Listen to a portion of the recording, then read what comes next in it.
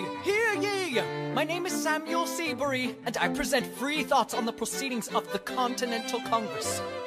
Heed not the rabble who scream revolution. They have not your interest at heart. God, tear this dude apart. Chaos and bloodshed are not a solution. Don't let them lead you astray. This Congress does not speak for me. I pray the King shows you his mercy. For shame, for shame. Heed not you the all unravel at the sound of screams. scream.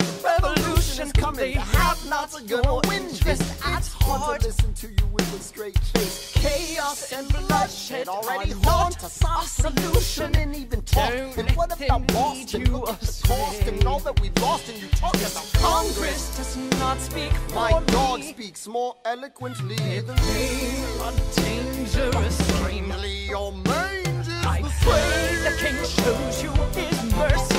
in Jersey? For shame. For the revolution!